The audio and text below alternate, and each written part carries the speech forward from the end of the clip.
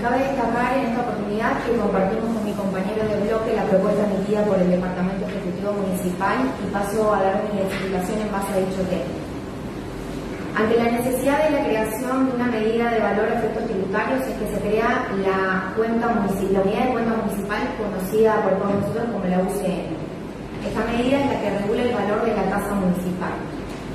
Nosotros entendemos que el contexto socioeconómico que estamos atravesando requiere eh, que desde el municipio sea necesario y se haga necesario para poder proponer herramientas para poder mantener sana la economía municipal y también entendemos que es necesario acompañar la situación económica de todos los vecinos. Por ello debemos tener en cuenta que no se trata de ajustes, sino de mejoras. Luego de un análisis sobre la cotización de la UCM por parte del Ejecutivo en sus primeros días de gestión, se encontró una desactualización. Por ende, el Ejecutivo cuenta con la facultad suficiente de pedir la respectiva actualización cuando se supera el 3%. Según el análisis del último año emitido por el secretario de Hacienda, Fernando Chamorro, y por el subsecretario Daniel García, podemos decir que en diciembre del 2023 el valor de la UCM está en 34 pesos, con un acumulado en el año de un 55%. Entonces llegamos a la conclusión que en base a las paritarias, al gasoil y al IPC hubiese correspondido un aumento del 126%, lo cual marca una diferencia de un 70% por debajo. Para datos más precisos, podemos exponer además que se toma como referencia el precio del gasoil en grado 2. Y aclaro que el incremento del gasoil grado 3 en términos porcentuales es mayor que el de referencia. Aquí identificamos un incremento acumulado de febrero a noviembre del 96,82%. La información del mes de diciembre en la página oficial del Ministerio de Energía no está disponible, ya que no finalizamos el mes. Pero en los últimos días IPF incorporó un aumento de entre el 25 y el 30%. Para hacer esta estimación se toma obviamente el valor más bajo. Lo mismo para el mes de enero, aunque se proyecta un valor superior a la cifra mencionada. Debemos tener en cuenta que según el Instituto Provincial de Estadísticas y Censos, IPEC, el índice de precios al consumidor, que es el IPC, acumulado el mes de noviembre, fue del 146,6%. Y por último, tenemos que tener en cuenta las paritarias, que son los datos obtenidos de FITRAN, donde un acumulado de aumento de salarios de febrero de 2023 a enero de 2024 es del 131%. Finalizo mi exposición contándole, contándoles que teniendo en cuenta los incrementos nombrados y su incidencia sobre el coeficiente de ajuste durante todo el año, la UCM estuvo por debajo del valor requerido, llegando a cifras extremadamente bajas en el mes de diciembre. El valor de actualización solicitado es del 60% de incremento y tiene como fin lograr una actualización al corriente mes. El valor justo y de equilibrio para la UCM en enero de 2024 se eh, debería ser del 54, 54 con 40 pesos. 54 pesos con 40 centavos, según las variables objetivas a considerar. Por todo lo expuesto anteriormente, solicito la ratificación del despacho firmado por el concejal actor y quien les habla, la concejal Torri. Muchas gracias. Pido la palabra, señor presidente. Y, la palabra, concejal. Gracias. Bien, hace aproximadamente 90 días y con posterioridad a los resultados electorales, el gobierno saliente planteó un aumento de la UCM con el sustento de corregir el valor dilatada convenientemente por varios periodos en un intento de especulación y conveniencia de cara a los resultados electorales. En esa oportunidad, desde Juntos por el Cambio se había planteado particionar el aumento propuesto por el oficialismo en tres partes. De allí surge que la última aplicación a lo, aprobado en aquel entonces se concreta justamente en este mes de diciembre. Esa propuesta, luego de debatirla y consensuarla con el resto de los ediles de aquel momento, algunos hoy forman parte de este cuerpo y otros hoy son parte, eh, son funcionarios del Ejecutivo actual. Fue aprobada por unanimidad. Remitiéndome a los conceptos vertidos por algunos de ellos en aquella sesión, la conclusión es que no se puede borrar con el codo lo que se votó hace tan solo unos meses atrás y rebatir dichos argumentos avalados por las mismas personas. Desde este espacio seguimos reconociendo el atraso en la UCL, pero nuestra premisa es seguirá siendo no dañar a los contribuyentes ni generarles endeudamientos por tasas, en virtud de otorgar aumentos sin las consideraciones necesarias del contexto económico actual, con un proceso inflacionario desbocado que genera más presión, incertidumbre y angustia. No podemos desconocer bajo ningún punto de vista la situación por la que están atravesando muchas familias en este contexto económico que mencionaba recién. Consideramos inoportuno sorprender a los contribuyentes con un 60% de aumento en tan solo 15 días, cuando ninguna paritaria tampoco hizo las correcciones en tan poco tiempo. Tampoco en lo personal tengo antecedentes, no sé si luego algún concejal me puede este, corregir en ese aspecto, de haber aplicado un 60% de aumento, eh, que es un porcentaje alto de una sola vez. No tengo recuerdo máxime cuando nos antecede otro aumento de la UCM de casi 35%.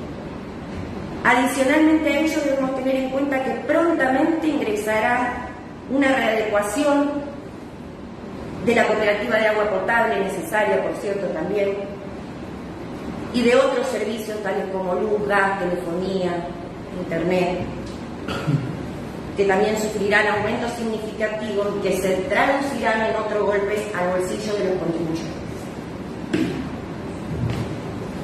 Nobleza obliga, debemos reconocer y agradecer la, predisposición de los responsables del área de Hacienda que han atendido a nuestras consultas y se han acercado al trabajo en comisión.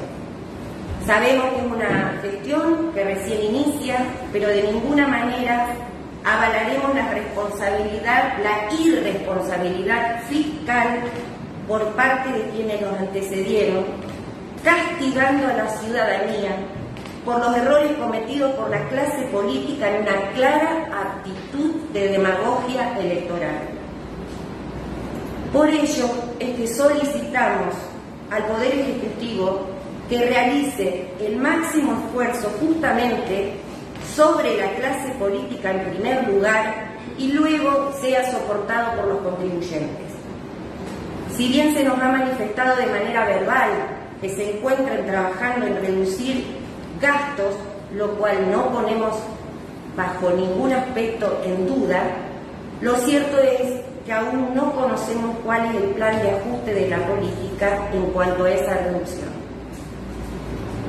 Bajo todo lo descrito con anterioridad, eh, voy a mencionar cuál es la propuesta desde el bloque de Juntos por el Cambio, de un plan alternativo para la UCM que es fijar un incremento del 25% que alcanzaría la suma de 42,50 centavos a partir del 1 de febrero de 2024 y un 25% a partir de marzo, del 1 de marzo, que sobre el acumulado asciende a la suma de 53,12 centavos. Por lo tanto, señor presidente, voy a solicitar la ratificación del presente despacho. Muchas gracias. Pido la palabra, presidente. Tiene la palabra, Muchas gracias. Solamente para eh, comentar un poquito eh, esta posición. Está claro que es un tema que nos llevó un debate profundo y bueno, un intercambio amplio de opiniones que todos los, los ediles y creo que los presentes coincidimos en que la situación económica en general es compleja y por eso es que también bueno, nuestra propuesta, junto con la que acaban de, mencionar, contempla un desdoblamiento en el aumento. Eh, también está claro que nos falta presupuesto y políticas presupuestarias, si bien tenemos eh, la promesa de que en estos días eh, se, nos lo va a brindar y, confío en ello, porque sé y, y doy fe de que están trabajando, es un, es un punto importante también para, para nosotros poder analizar de manera más profunda y, y completa esta temática. Que, en varias oportunidades vinieron funcionarios, en mal no recuerdo, en tres oportunidades diferentes, vinieron funcionarios del actual Ejecutivo, eh, que como se mencionó anteriormente, se, agradece ese gesto y, y, ese compromiso en tratar de defender su postura, una postura que eh, no comparto, un, aumento eh, de una, de un 60%, considero que es, es un que súper, eh, eh, o que es demasiado. Así que bueno, como dije anteriormente, se entiende la situación actual, pero esta propuesta busca acercar ambas posturas eh, buscando un punto intermedio. Así que bueno, por eso voy a proceder a leer la lectura de cómo quedaría este proyecto. Artículo primero, fíjese el valor de la unidad de cuenta municipal para la determinación de todas las obligaciones tributarias de las obras Sunchales en pesos 48,60 centavos a partir del 1 de enero del 2024 y en pesos 52,97 centavos a partir del 1 de febrero del 2024. Artículo segundo de la OBC de ordenanza número 3074. A esto estamos haciendo referencia en un aumento del 42% para el mes de enero y un 9% para el mes de febrero. Así que bueno, eh, por todo el impuesto, solicito al resto de los ediles la ratificación del despacho firmado por el edil doble y bueno, quien les habla el día. Muchas gracias, presidente. Pido la palabra, presidente. la palabra, presidente. Gracias, presidente. En esta sesión estamos tratando unidad de cuenta municipal y quiero argumentar que es nuestra moneda local, moneda entre comillas, obviamente, y estamos obligados a defender esta moneda. Estamos ante una emergencia económica que hace declarar por el presidente Milei, y hay cambios bruscos en las variables económicas que afectan obviamente al vecino y afectan también al municipio y a de servicio por las correcciones de precios que son brutales ya de esta altura. ¿Y por qué ahora tenemos que hacer la actualización? ¿Es inoportuno? Pues primero que nada es habitual tratar la actualización según su presión, o sea, según un esquema trimestral. El primero de enero debería ser como un objetivo de este cuerpo que el vecino tenga una boleta con un valor razonable. Y eso significa equiparar su valor nominal con las variables de la ordenanza que crea la UCN. Y que incluso también hay otras variables que deberíamos considerar más allá que no estén en la ordenanza. Tomo como ejemplo el despacho estado anteriormente. Una electrobomba que fue presentada, una pedido autorización para su compra. ¿Y qué valor? No llegaba a 5 millones de pesos. Y hemos aprobado ahora valor que supera los 10 millones de pesos. Y solamente transcurrieron cuánto? Tres semanas. Esa variable que es el dólar, oficial no la tenemos en cuenta, pero también impacta en la prestación de servicios del municipio. En diciembre de 2022, este Consejo también enfrentó un periodo de actualización de la unidad de cuenta municipal. Terminó aprobando un 50%, claro, en dos tramos, que creo que es el desdoblamiento, el kit de la cuestión, y gracias a las explicaciones de Brenda, de banca, y del equipo de Hacienda que ha, la verdad, trabajado por qué no se puede desdoblar el pedido del Ejecutivo, queda claro que estamos en un contexto muy distinto. Es por estos razonamientos y muchos más que puedo continuar argumentando que 60% es un tema y que tampoco me parece que sea razonable o irreal. De hecho, quiero mencionar que la nueva gestión en Rafaela, que ha asumido también de diciembre, ha solicitado el mismo número. Y casualmente o causalmente, el quinerismo saliente en esa localidad lo está rechazando en Fátima.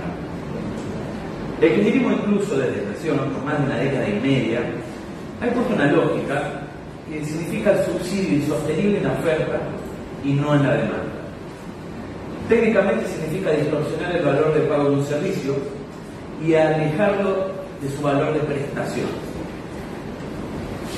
Si bien se puede argumentar que hay una protección al usuario, y me parece que hay que proteger al usuario, cuando un desfasaje se hace estructural y termina siendo inviable por la cantidad de, porcentual de ese desfasaje, lo que va a pasar es que va a terminar siendo muy caro para el usuario, porque el cortoplacismo es caro y fue caro para Argentina y estamos pagando las consecuencias en este contexto.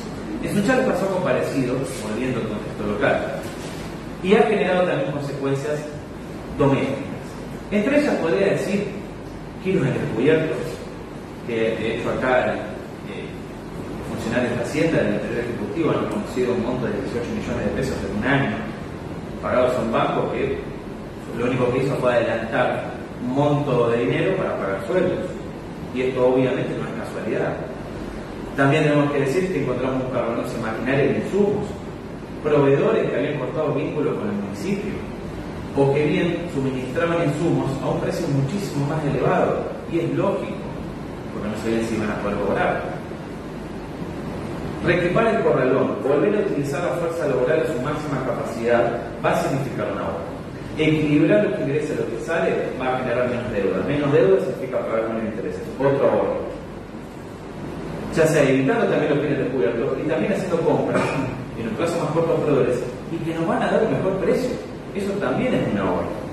Ese es un parte del plan que no es de ajuste, es de mejora, mejora la administración a la par también estamos reduciendo el costo político, ya que parte de los funcionarios del gabinete son en realidad empleados de planta que han provenido de distintas gestiones, porque no miramos color político, sino que vemos eficiencia, compromiso con la gestión y lealtad, lealtad con el vecino. Eso también significa un ahorro. Así como además también cada funcionario del actual Ejecutivo utiliza su propio vehículo para trasladarse y los que son rodados municipales están exclusivamente afectados a la prestación de servicios. Estos también son gestos que van a ser acompañados por un verdadero plan de ajuste, el cual también vamos a necesitar que este cuerpo acompañe otras iniciativas que algunas ya tenemos presentadas, como por ejemplo la adhesión a la ley de responsabilidad fiscal y otros que van a ingresar. Por todo esto, realidad quiero decir que hay un esfuerzo y que además ese esfuerzo se está viendo con el regreso del servicio a los barrios, que de la primera semana de gestión el vecino nos está agradeciendo. No debería agradecerlo, señor presidente. Esta es una gestión que probablemente le ponga el pecho a una emergencia climática. También lo quiero aclarar. ¿Cómo vamos a enfrentar una inundación o un desastre o una tormenta con fuertes vientos y caída de árboles si no tenemos equipo en el corralón? Quiero preguntar en serio. De todas formas, no quiero asustar a nadie. Yo quiero transmitir confianza. Es por ello que pedimos un valor de UCM que represente la verdad sin dar vuelta de lo que se necesita y por eso fuimos de frente a decirlo en los medios de comunicación he ido y los secretarios, el secretario de Hacienda lo hizo una conferencia de prensa el día de ayer. Es complicado pedir este número, pero si mentimos vamos a perder confianza y creo que no podemos hacer eso. Para concluir, pido a Sunchales que comprenda esta solicitud, que tenga confianza en el futuro de la ciudad y, bueno, por supuesto, acompañar eh, el pedido de rectificación de nuestro despacho, de nuestro bloque. Muchas gracias, señor presidente. Pido la palabra, señor presidente. Acompañando por sobre todas las cosas eh, los fundamentos, eh, todos mencionados por Laura Patulino, al momento de fundamental el, despacho eh, que, lleva la firma tanto de la concejala como la mía eh, y que presenta este aumento escalonado y que lo hace a partir de febrero y que lo haga a partir de febrero no es por una cuestión de estrategia política eh, o de que suene más amistoso. Yo creo que tiene que ver con una, una postura eh, que, creo que es la que debemos tener en este tiempo, que es la prudencia. Creo que enero, lo que queda de diciembre en realidad, y enero va a ser, van a ser eh, tiempos de análisis eh, a conciencia del verdadero estado de situación en el que se encuentran las arcas del municipio, el patrimonio del municipio y eh, el, bolsillo de todos los contribuyentes. Yo creo que es un tiempo prudencial que debemos tomarnos para poder eh, analizar y conocer eh, la ciencia cierta a dónde estamos parados. Yo entiendo perfectamente el estado de situación en el que se encuentra económicamente, socialmente nuestro país, no lo desconozco. Eh, lo, vemos todos los días, lo sentimos en el bolsillo. Y los cálculos eh, matemáticos que hay que hacer para poder eh, establecer cuál es el porcentaje de aumento que merece la unidad de cuentas municipal de nuestro municipio está claro y lo dejo señalado como se lo he este, mencionado a los secretarios, a los funcionarios que vinieron trabajo en comisión a explicarlo. No, no cuestiono, digamos, los cálculos, sino que eh, acá, más allá de los cálculos, tenemos que tener una mirada política, una conducta política para con el contribuyente, que fue y es, digamos, víctima de la especulación política de una gestión que se fue, pegando el portazo. Con todo lo que nos ha dejado ¿no? de negativo, con eh, por lo menos este consejo no pudo conocer cuál es la planta real eh, de empleados del municipio. Llevamos adelante una denuncia penal por la falta de rendición de cuentas, eh, un sinnúmero de incumplimiento de los deberes del funcionario público.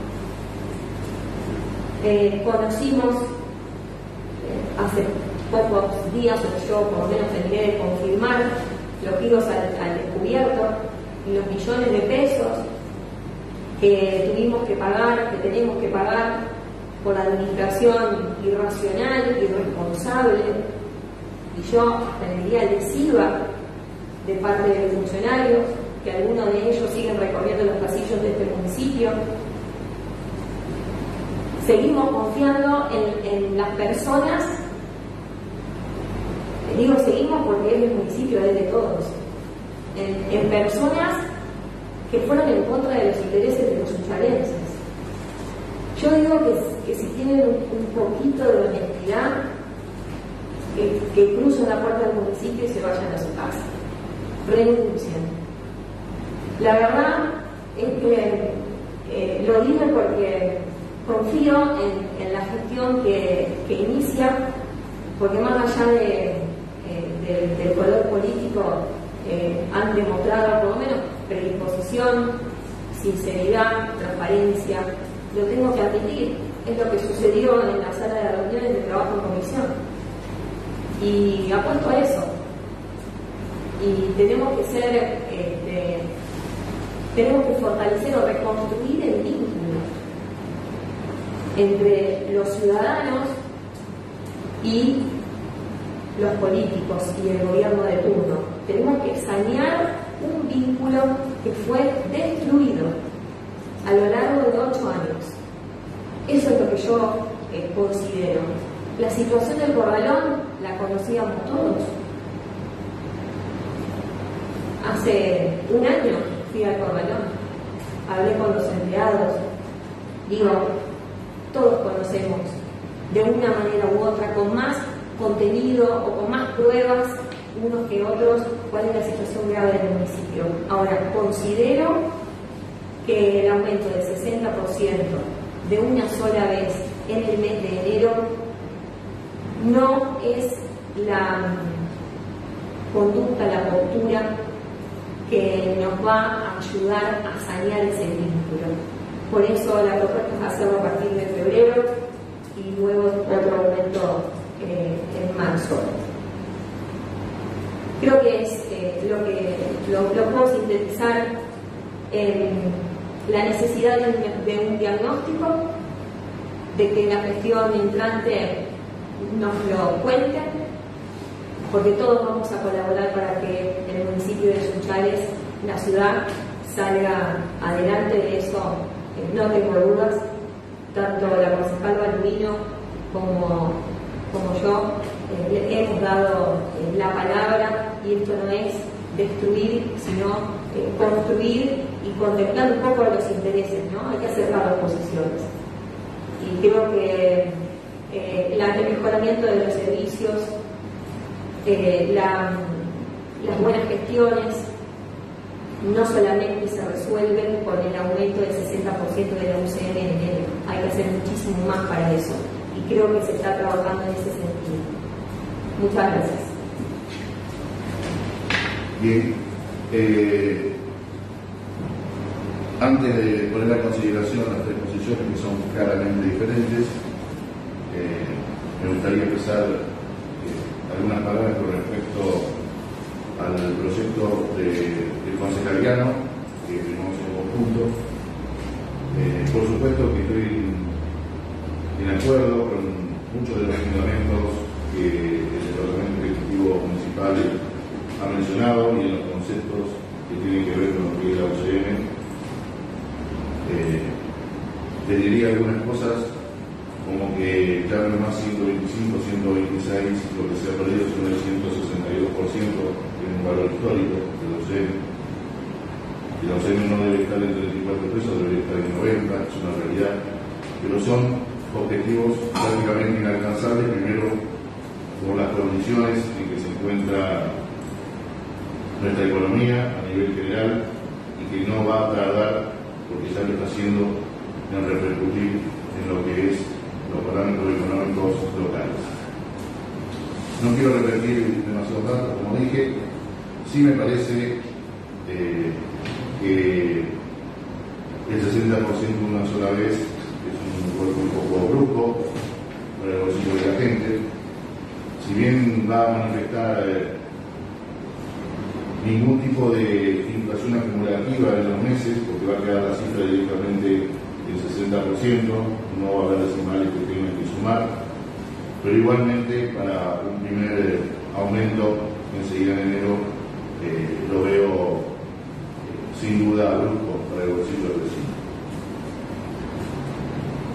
Mi posición con respecto al proyecto de Juntos por el Cambio, de la fiscal Baulino, de Baulino y Justin, eh, nosotros no creemos que haya que dejar enero sin ingresos.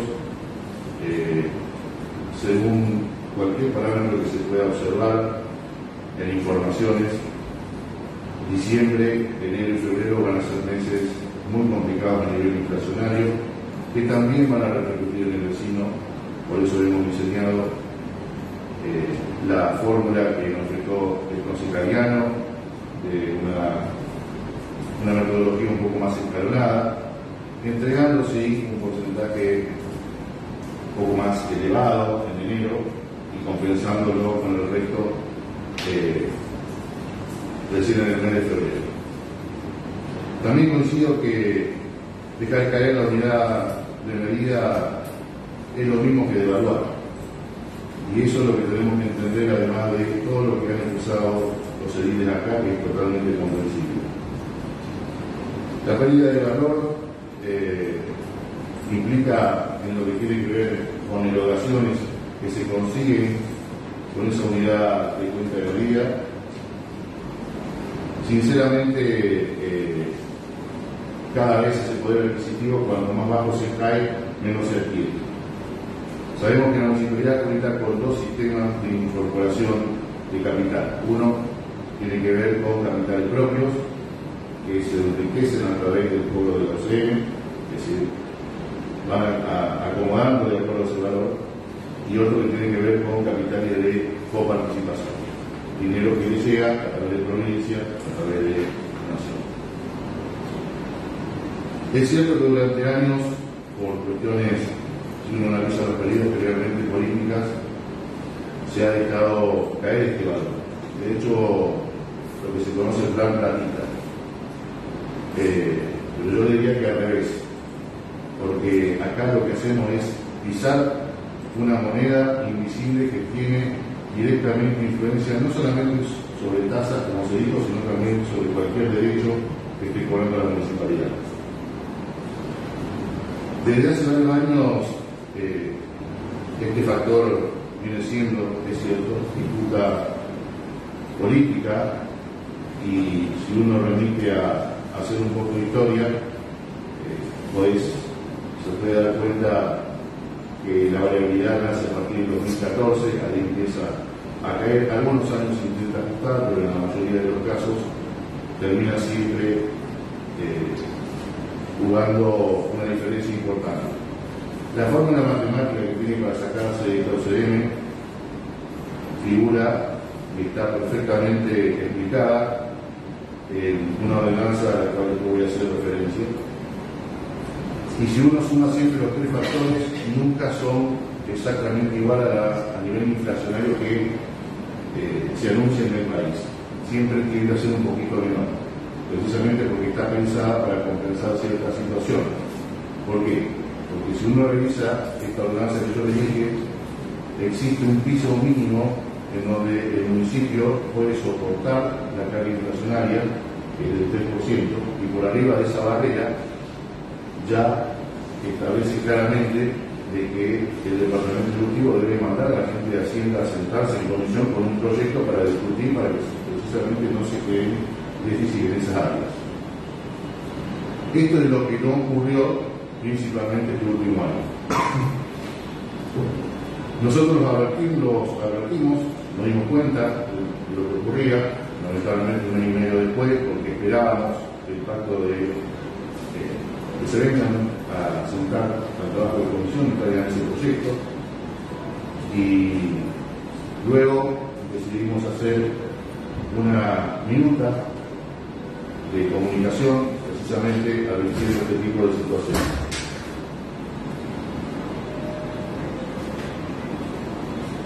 Posteriormente a esto pasó ese primer trimestre sin ningún tipo de ajuste, lo que ocasionó pérdidas que a continuación voy a leer directamente en, valores de pesos.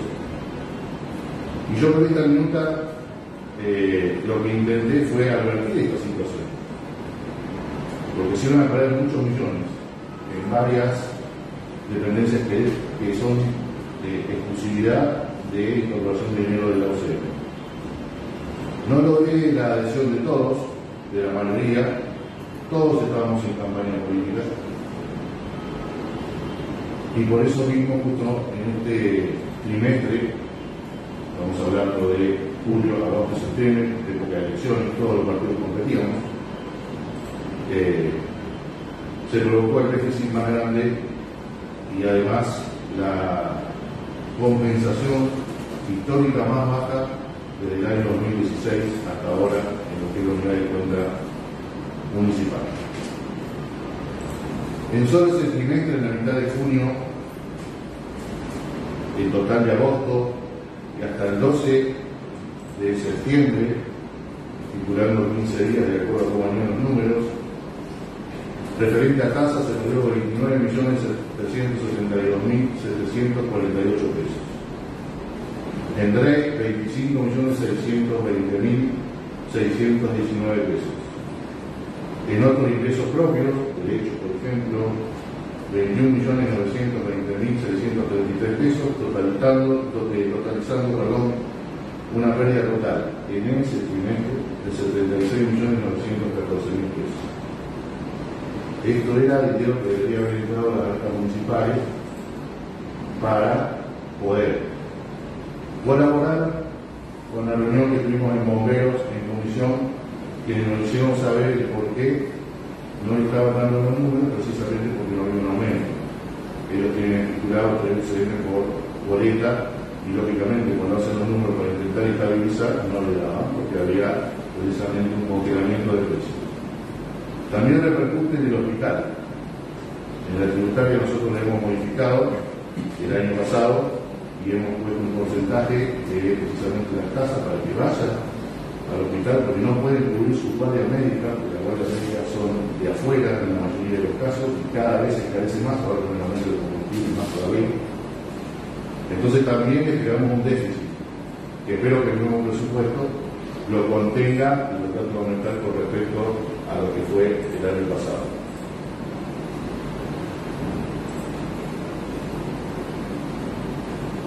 Dicho esto, para no eh, mostrar datos de planillas que van desde 8 años, 9 atrás, históricas del aumento de gasol, del aumento del IPC, del aumento de un montón de situaciones que tienen que ver este, también con paritarias, que pertenecen toda la misma regla matemática para sacar esto. Eh, lógicamente, eh, apoyo el proyecto firmado por, nosotros, por el profesor quien habla. Eh, me parece que es un buen comienzo, es buena, un buen instrumento que tiene el Ejecutivo para poder arrancar y para poder demostrar lo que dijo en las reuniones de comisiones, cuando vinieron los intendentes, cuando vinieron los funcionarios, cómo están trabajando ahora y después fundamentalmente cómo van a trabajar con el presupuesto. El presupuesto que todavía no tenemos en nuestra mesa y que queremos tener para analizar. Y que no hace falta contar este, primero con el, presupuesto y luego con la OCM, porque precisamente la OCM determina valores importantes dentro del presupuesto. Entonces necesitamos primero crear una reserva de valor, de valor darle precisamente un precio determinado para después poder mirar a qué partidos están destinados y si tenemos que corregir, por supuesto corregir. ¿Eh? Eh, mencioné anteriormente que eh, esto viene de años, no es significativo. Hay que darle ese instrumento al nuevo gobierno, pero también hay que controlarlo no tiene que ser una, un empuje gratis.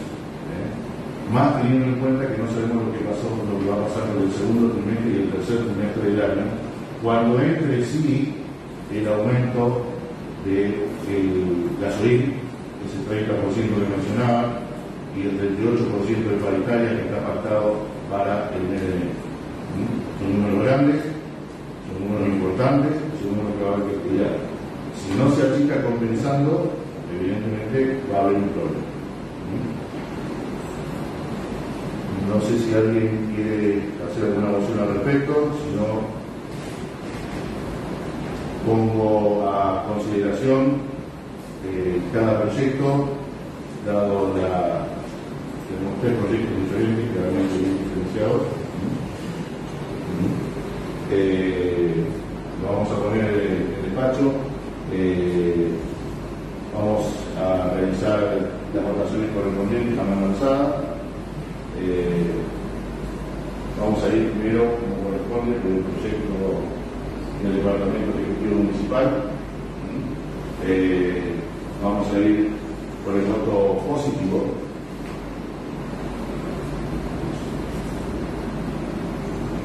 Negativos.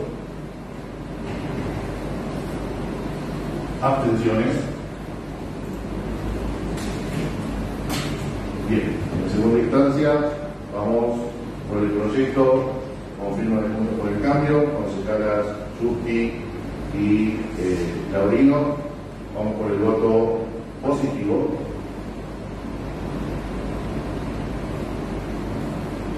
Negativo. Abstenciones. último, como consideración, el proyecto firmado por el consejeriano y la presidencia. Vamos por el voto positivo.